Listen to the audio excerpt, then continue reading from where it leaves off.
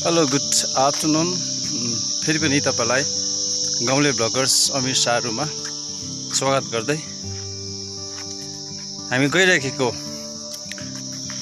जुन ढुङ्गा छ त्यहाँबाट हामी केही मनोरम दृश्यहरू देखाउने प्रयास गर्नेछौँ र आज चाहिँ मेरो अलिकति क्यामेरा बिग्रिराखेको छ मोबाइलको।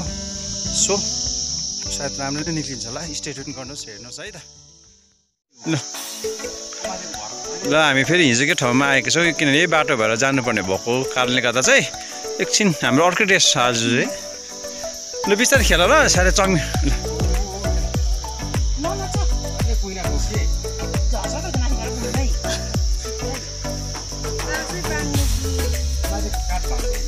काठ झरिरहेको छ नि त।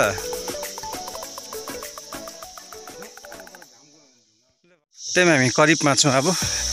यो माथि भएको जुन ढुङ्गा देख्दै हुनुहुन्छ रक यही नै हो भाले ए ठुलो ढुङ्गा भने चाहिँ म अहिले अलिक मुनि नै छु किनभने यहाँ हाम्रो अझै दुईजना मित्रहरू आउँदै हुनुहुन्छ।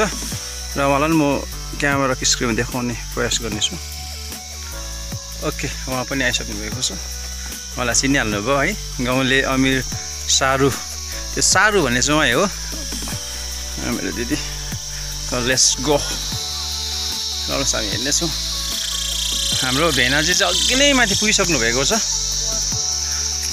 एकदमै ठुलो पत्थर रहेछ त है। के को रुखो भेना यो चाहिँ? आम्माम, यो मालमता चाहिँ वा लु हेर्नुहोस् सोत्सा सोत्राहरू।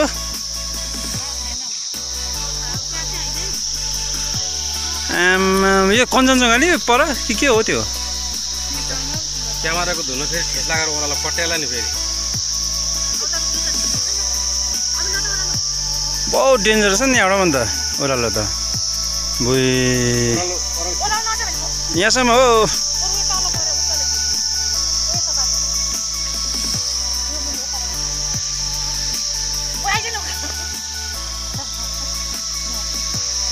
ल, ओ यता बेबी हेर त।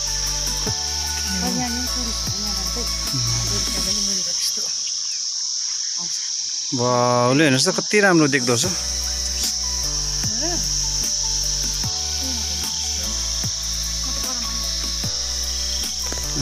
अलिक तल। यो मुनि पनि जानु चाहिँ मलाई एकदमै इच्छा थियो तर सकेन। के ढुङ्गा भयो ठुलो ढुङ्गा। 그냥 그러지 않나 싶은데 체리 꽂아 주겠죠.